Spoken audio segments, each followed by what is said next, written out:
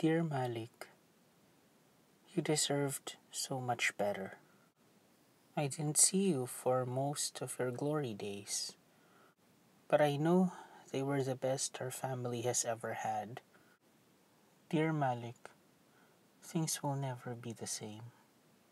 Without you, our home isn't as safe, and the yard just feels so empty. Dear Malik, I wish we weren't so cruel. You got hurt while doing your job, but hardly got any service back. Dear Malik, for you, I'll allow myself to regret. I should have faced my fear and embraced you. I really tried to hold you, but my best wasn't enough. Dear Malik, I thank you for everything. You lived your life for us.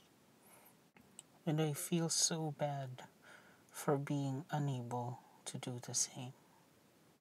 Dear Malik, I hope you're now in paradise.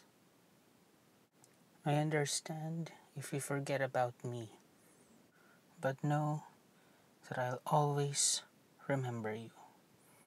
I love you, Malik, always and forever.